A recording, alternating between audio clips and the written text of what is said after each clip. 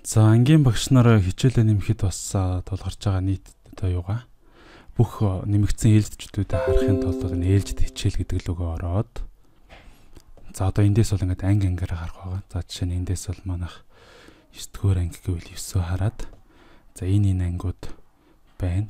9-ийн А дээр нь за үүнийг цуцлаад за цуцсныхаа дараа бол бүгдийг нь устгах гэсэн үг. Устгах гэд ингээд устгана. За энэ маягаар ингээд x-лээд устгах үйлдэлтэй ихтгэлтэй байна уу гэхээр нь тийм гэж дараад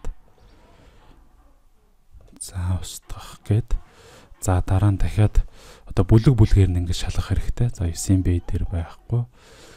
V дээр байхгүй. За G дээр 2 хичээл байна. За энэ дээр шууд устгах гэдэг тарчи. Устгах.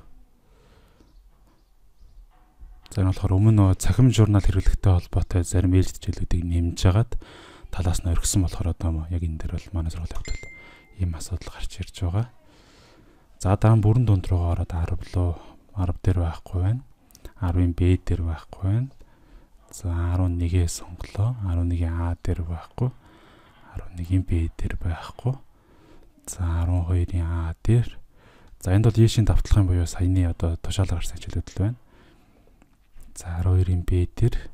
За мөн зөвхөн Ешийн хичээлүүд нь одоо ингээд одоо бол ангийн багш нар дүнгээ оруулахад ямар ч асуудалгүйгээр орно гэсэн үг байна.